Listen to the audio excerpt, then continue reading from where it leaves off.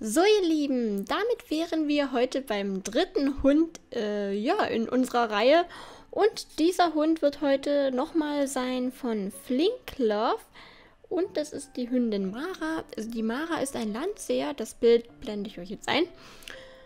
Ähm, aber die Rasse haben wir leider nicht. Und deswegen habe ich äh, schon so ein bisschen eine Form von einem Hund erstellt, damit es nicht so lange dauert. Also so grob die Form, äh, das wäre ungefähr das. Und was wollte ich jetzt sagen? Achso, genau. Damit wäre unser erster Haushalt voll mit euren Tieren. Das heißt, ihr könnt eure Tiere, diese Tiere, wenn ihr schon dabei seid, nach diesem Video herunterladen. Also ich werde sie gleich online stellen und ja, dann könnt ihr dann heute schon mit eurem Tier spielen. So, also das ist die Mara von von Flink Love. Okay. So, äh, in dem Fall ist es ein englischer Cocker Spaniel, aber ich habe den Hund natürlich noch in seiner Form schon ein bisschen bearbeitet und äh, ja, deswegen haut das auf jeden Fall nicht mehr hin. Der Hund hat ein bisschen junge Züge, würde ich sagen, aber ich glaube, das haut auch hin. Äh, die Mara ist auf jeden Fall kein Jäger, ähm, ein kinderlieber, verspielter, ruhiger Familienhund. Okay, ähm, ein pelzig stur viel, also verspielt, denke ich mal. Unabhängig, äh, freundlich. Unabhängiger, also anhänglich wäre auf jeden Fall. Es ist so ein bisschen, wir haben jetzt den nicht treu, würde auf jeden Fall noch passen. Und verspielt haben wir auch, okay. Dann machen wir das so. Okay, dann haben wir auf jeden Fall erstmal Merkmale, die so halbwegs passen. Und ich würde sagen, wir gucken mal eben bei der Fellfarbe. Ich brauche nämlich einen hellen Hund. Einfach einen komplett hellen Hund, genau. Und den müssen wir jetzt einfach bemalen, würde ich mal sagen. Wir brauchen, das ist wieder ein bisschen einfacher, wir brauchen nämlich schwarz. Und wir müssen nur schwarze Stellen malen. Gut, wir haben eine schwarze Nase. Das ist auch wichtig. Und dann geht es dann mal los. Ähm, ich hoffe, die Form vom Kopf und das, das passt jetzt halbwegs. Die Ohren, ähm, glaube ich, sind jetzt auch okay. Die habe ich nämlich auch noch ein bisschen bearbeitet, so wie die Augen. Äh, aber ich würde sagen, wir gucken mal, wie es dann aussieht, wenn wir die erste Farbe auf das Hündchen bringen. Wir brauchen auf jeden Fall, ich weiß jetzt leider nicht, wie vorne der Latz aussieht. Wir brauchen auf jeden Fall einen großen Pinsel und wir, wir machen beide Seiten. Wir haben hier über die Schulter, das ist... Warte mal, wie fangen wir denn an? Fangen wir mal hier an. So. Okay. Alles komplett schwarz. Okay. Concentration. Eigentlich können wir schon mal den ganzen Bereich hier schwarz machen. Nur, wir müssen halt auf die Blässe aufpassen. So, das passt auch. Okay, die Blässe. Das ist eine wirklich ganz dünne Blässe. Genau so. Hm. Ich möchte gern auf das Schnäuzchen. So. Ich glaube, das haut ungefähr hin. Jetzt müssten wir mal nochmal das Weiß nehmen. Auf jeden Fall geht das auch hier unten rum. Und hier vorne ist der Hund auch schwarz. Man sieht nichts, nur schwarz. Ist ja ulkig. Ich finde es allerdings ein bisschen schade, dass wir hier die Augen... Ach doch, es geht. Alles klar, es funktioniert. Ein schwarzes Sündchen, man sieht nichts. Nur schwarz.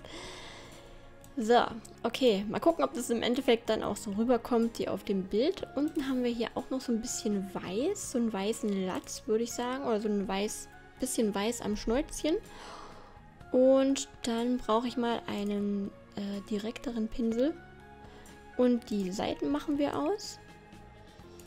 Und das sieht aus, als würde das jetzt hier so ein bisschen lang gehen. Ich sehe allerdings jetzt leider nur eine Seite richtig. Und ja, hoffe, dass das hinhaut. Wir haben dann hier auf der Seite, müsste das sein. Ja, das ist auf der Seite. Haben wir hinterm Ohr bis ungefähr zur Hälfte nochmal so einen weißen... Ähm ne, das ist zu hoch. Das ist zu hoch. Ich muss mal tiefer ansetzen. Wie hoch wird das ungefähr sein? Es ist schwierig einzuschätzen. Vielleicht so. Ja, ich glaube, das haut hin. Nochmal so einen weißen äh, wie Absatz. Und ich glaube, wir brauchen auch ein anderes Fell. Wartet mal. nee, das ist wieder... Das ist schon ein ähm, deutlicher Absatz. Aber man muss halt auch ähm, das passende Fell dafür finden, ne? Vielleicht passt das ja besser. Halt, verkehrt, das war verkehrt. So. Jetzt haben wir, glaube ich, die Farbe verstellt. Okay, nochmal. Ja, okay. Machen wir noch ein bisschen kleiner und dichter geht nicht mehr. Deswegen würde ich sagen, okay, wir machen das nochmal rückgängig. Und jetzt habe ich ungefähr mein, mein Anhaltspunkt dass das so hier geht. Genau, wir sollten vielleicht öfter dieses Tool hier nehmen. So. Okay. Dann haben wir nochmal schwarz. Ich mache mal wieder mit schwarz weiter. Und da haben wir wie eine Kette rundrum. So hier.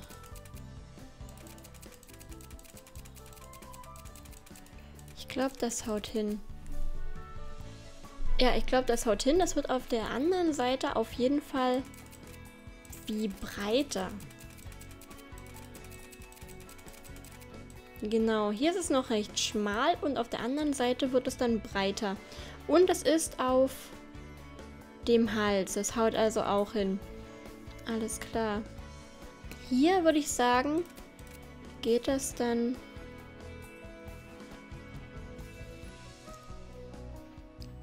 Stell dich mal hin, genau. Stell dich doch mal hin. Hier würde ich sagen, geht das dann bis hier so. Dann geht das hier rum. Und nochmal hier runter. Ja, die Seite, da liegt der Hund allerdings auf dem Bild drauf. Die kann ich leider nicht so richtig sehen. Ich denke mal, das geht dann ungefähr wieder so zurück. Und hier haben wir dann also vorne den Latz. Ich denke mal, der Latz wird schwarz sein. Dass das so hier geht. Und das geht auf jeden Fall auch hier so lang. Diese Zeichnung. So. Müssen wir dann nochmal richtig schwarz nachdrucken alles. Und ich denke, ich vermute, also das sehe ich leider auf dem Bild nicht, deswegen mache ich das jetzt einfach mal so. So.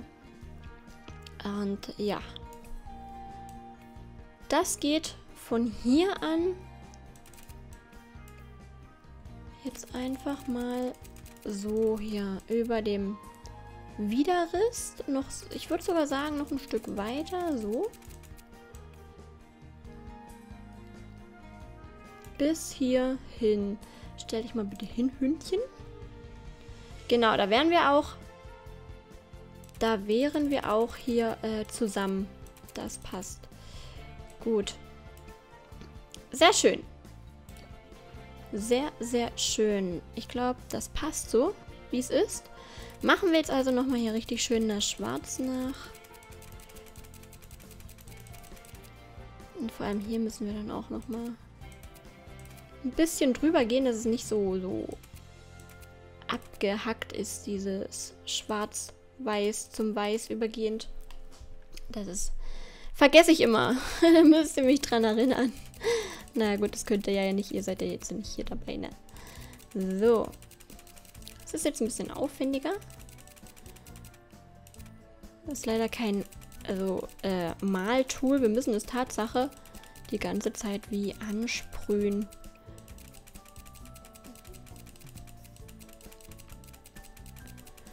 Mal gucken, wie es ist. Vielleicht schaffe ich morgen auch wieder die drei Hunde oder drei Katzen oder generell drei Tiere. Ich habe morgen nämlich auch frei. Und deswegen... Ja, also das geht hier wirklich bis hierhin ungefähr.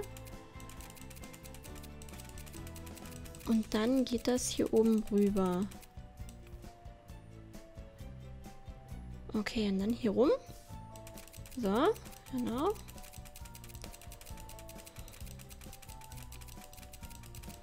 Schwierige Sache. Springen wir mal eine Runde weiter. Es ist sozusagen, ich stemple jetzt den Hund so, bis es passt.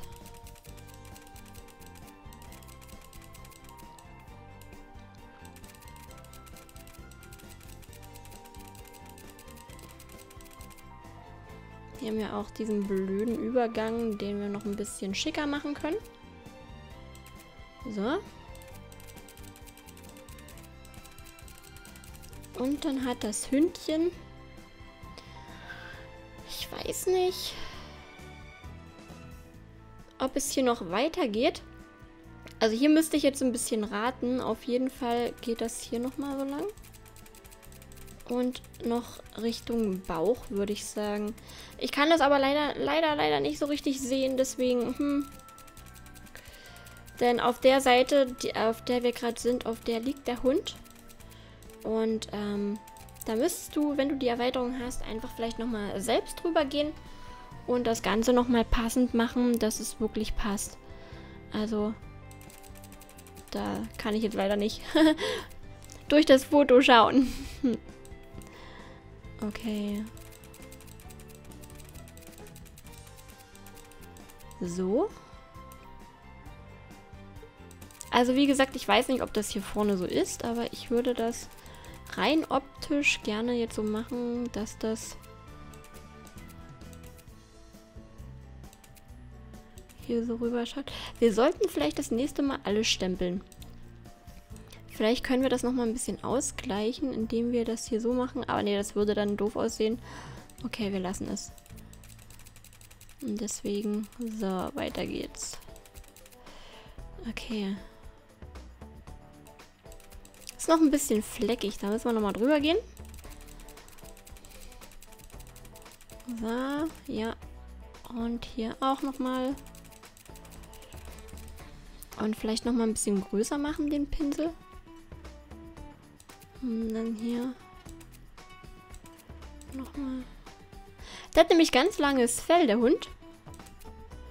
So wie es aussieht. Und das sieht dann halt nicht so abgehackt aus, wenn wir das machen. Wenn wir da nochmal so ein bisschen drüber gehen. Natürlich versuchen, in Fellrichtung zu bleiben. So, in der Wuchsrichtung.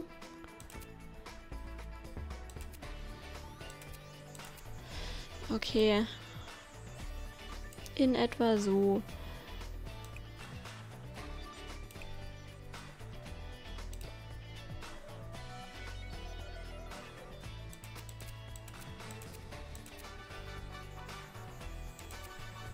Genau. Dann hat er auf den Pfoten auch noch Punkte. Das finde ich ja total niedlich. Wir setzen ihn mal so hin. Und wählen einfach mal ähm, nochmal die Pinselgröße ganz klein und machen dann hier solche Punkte drauf. Also, aber, oh, ich sehe gerade, ach nee, wir sind noch gar nicht bei der kleinsten Pinselgröße. Alles klar, alles klar. Haut also doch hin. 15, 13, das könnte passen. Welche Seite ist denn das?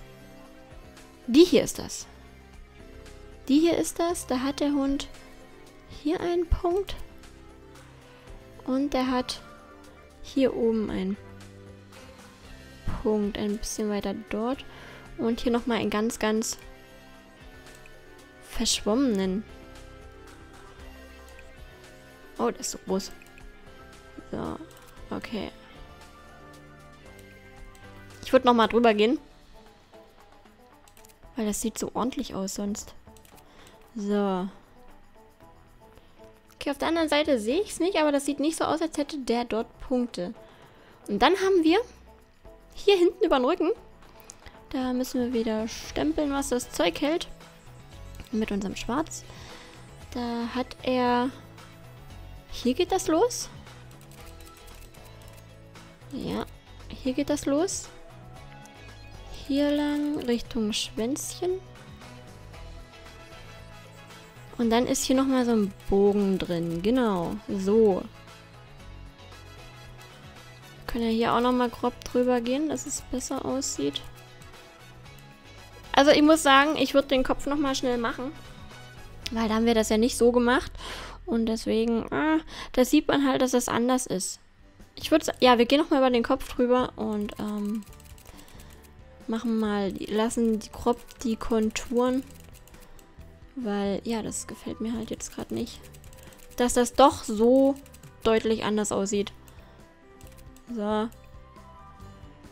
Und okay, jetzt nochmal.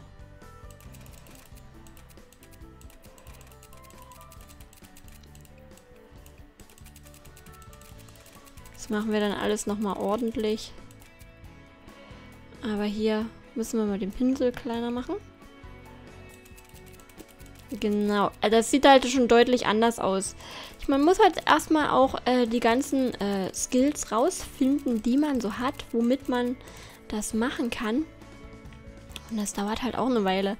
Aber so langsam äh, würde ich sagen, wird es bei mir auch besser. So langsam sieht es nicht mehr ganz so realitätsfern aus. So. Okay. Na, hier nochmal. Und dann kommt die Blässe nochmal. So, ja, es ist, es, es ist ein Unterschied. Sagen wir es mal so. Es ist ein Unterschied. Es ist schon anders. Okay, ähm... Das ist natürlich ganz schön groß. Jetzt sehe ich nicht, wie ich das drehe. Das ist wieder zu klein. Okay, machen wir mal so. Eine ganz, ganz schmale Blässe. Das ist wieder... Wir sind schon nur auf 1 und es ist trotzdem noch zu groß. Okay, also müssen wir wahrscheinlich doch noch malen. Aber das ist so ordentlich. Das geht nicht. Das ist so ordentlich. So, also dann doch wieder so.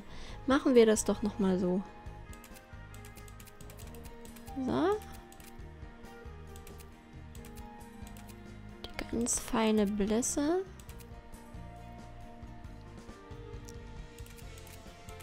Hey, Hündchen, hör auf zu zappeln. Und dann hier unten bei der Nase nochmal mit dem Weiß drüber, hier so. Genau. Und hier nochmal schwarz. Ich vergesse hier Stellen. Seht ihr das? Ist ja übel. Das ist ja übel. Wie einfach man das übersehen kann. Das ist genauso hier. So, da sind wir schon wieder eine ganze Weile dabei hier bei dem Hündchen. Ich komme da auch gar nicht ran. Seht ihr das? Nee, man kommt da echt nicht ran. Schade. Okay. Ähm, hier brauchen wir auch nochmal weiß. Das ist auch noch nicht so richtig in Ordnung. Das müssen wir nochmal ändern und das ein bisschen so machen. Genau. Okay.